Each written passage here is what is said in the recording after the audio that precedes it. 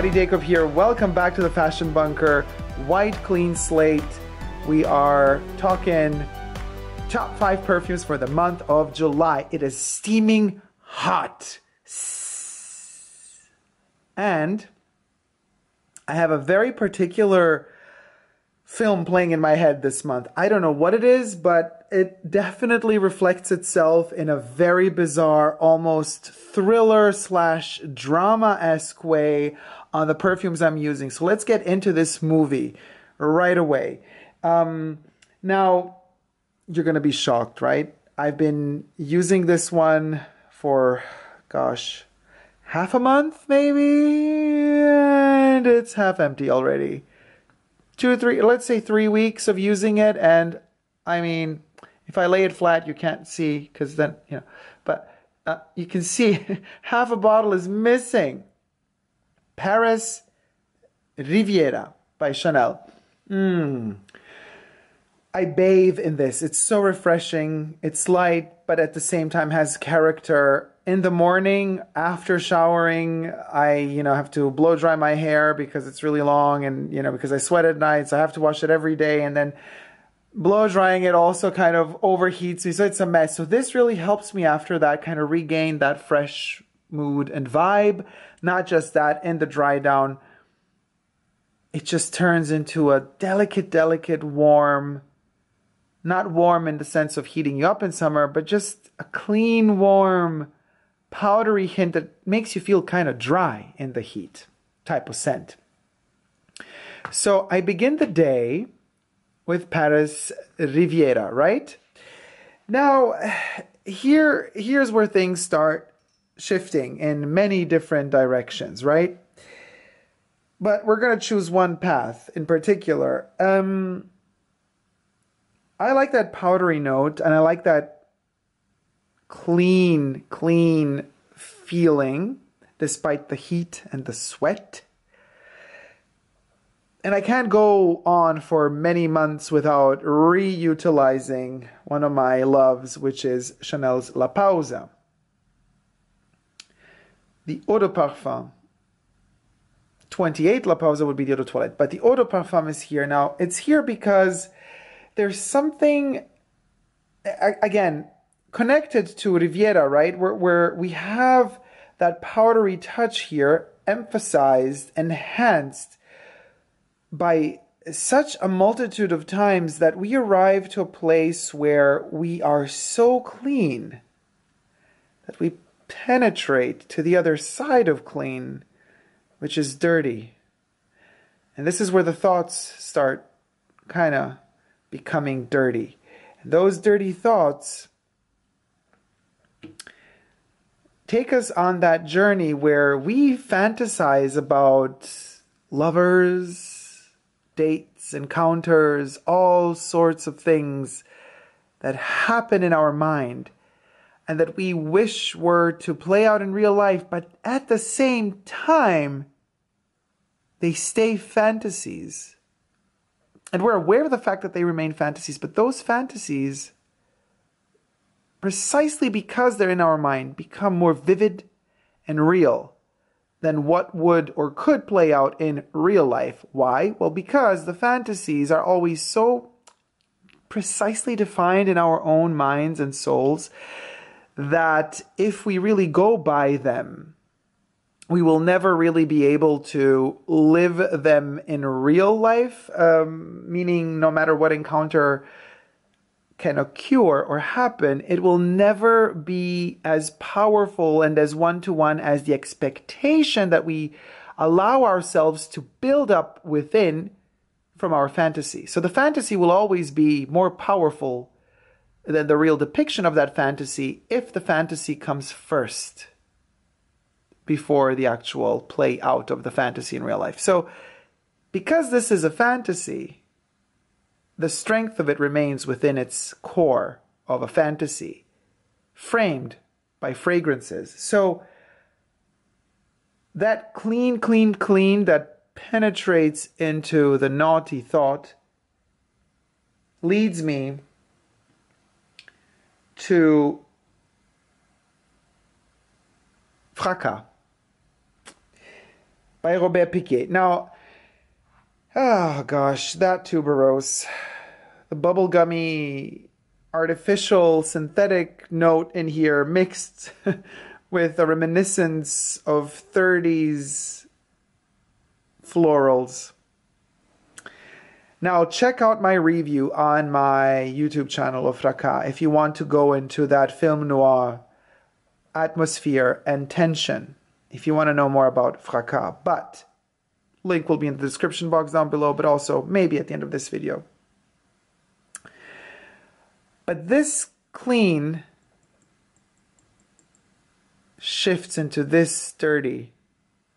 But it's not quite dirty yet, but it is an idea of where where are we going? Now that tuberose that particular type of tuberose in here which is overpowering mostly really complicated dosing it is really tricky. Using it in a cloying summer heat is actually not recommendable at all. And yet i find myself veering towards it over and over and over and over again in the heat particularly after, let's say, 7, 8 p.m. I'm actually wearing it right now, right here.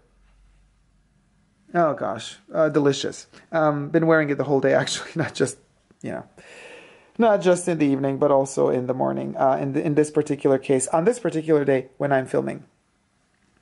Now, this is where the tension starts growing, and the need and we're going into dark territories here, so you're warned if you know th- th- we're dark. Yeah? So if you're if you don't want to hear this, stop here. I don't know how many of you have this need sometimes of how do I put this so that you don't misunderstand? When sometimes we are we find pleasure in being in some way self-destructive. Or better said sometimes the pleasure and you know fragrances are connected to a lot of emotions and a lot of pleasure and sensuality uh, sensuality uh, sensitivity you know. Young girls innocent uh, virgins you know, centuries ago, we're not allowed to even smell tuberose flowers because it was said to give immediate orgasms. So, you know, there's this, perfumes are connected to that. We don't have to debate that. That's, of course, fact. Now, so, um, sometimes, don't you have that desire to be hurt in a sensual way? When you go into that dark place of feeling yourself so deeply and and and and you need something so powerful, deep and intense with somebody that you know it will hurt. No pun intended. Psychologically, and, and you want that pain.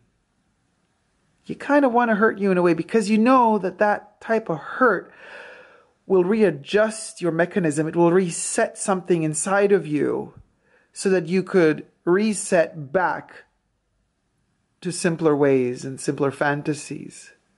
Something that will let your boiling hot spirits go for a moment.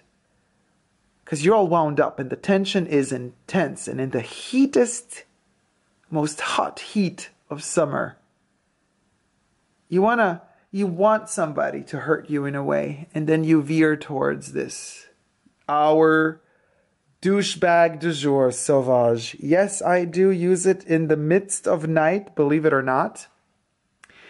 Sauvage plays a role in this movie. Now you can check out the review I made of Sauvage, and um, this is the douchebag we love to hate, or we hate to love. It's a this is Eau de Toilette, the first formulation released of Sauvage. By the way, we set up our whole being, and we know that this douche is gonna hurt us. We know it's to be a one night stand, and we know we're to wake up the next day thinking, what the heck did we do? Why?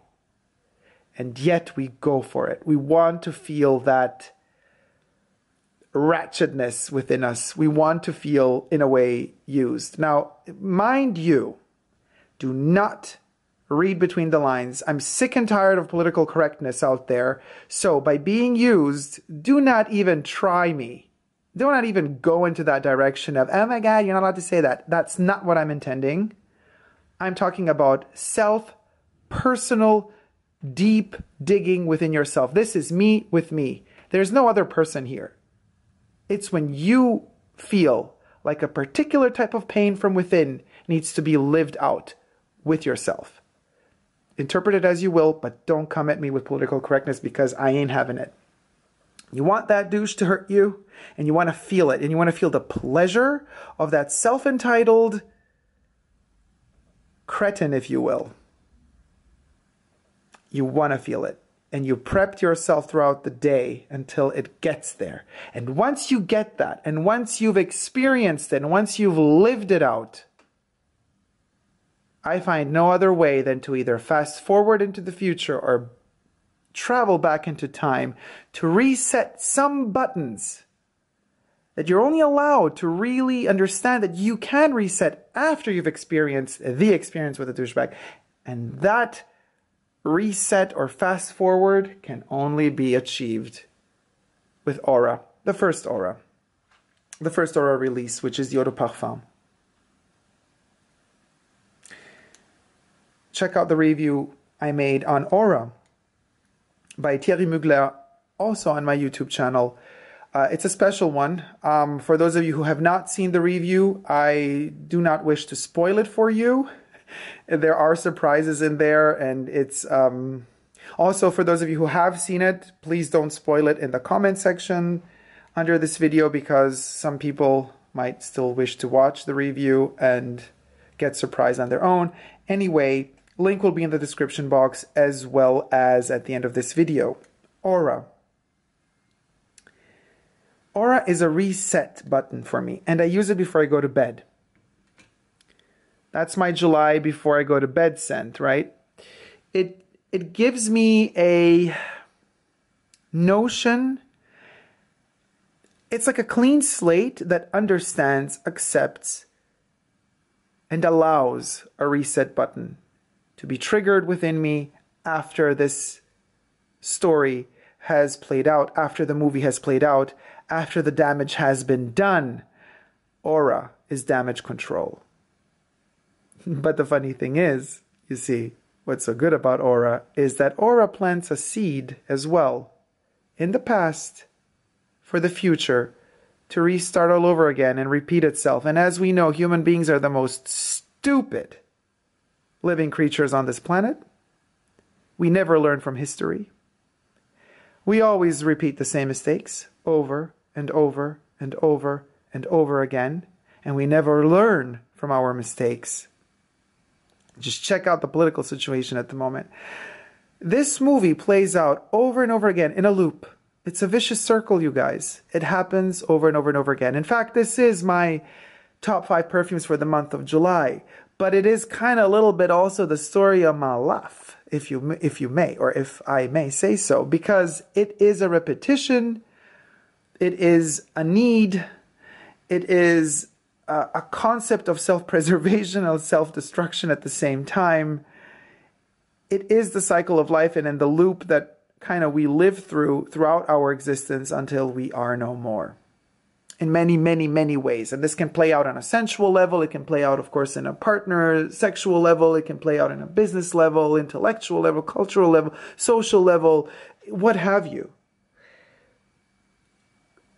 We begin in many ways clean and fresh. We end up really dirty, ratchet, and then we kind of try to find ways, buttons, keys to rewind and start all over again. We don't think we're starting all over again, but we do fall in the same patterns all over again. And those patterns, those patterns, ultimately, deeply, and intimately, maybe even subconsciously, inside of us feel so good. Thank you guys so much for watching. Hope you liked my top five for the month of July. Let me know what yours are. And if you haven't already, please consider subscribing to my channel here on YouTube. I'm also on Instagram, Facebook, Twitter, and I'm also on Patreon where you can see special previews and also exclusive videos as well as photos only exclusive to my patrons. Thank you so much for watching. Never give up on love. See you soon. Take care. Bye.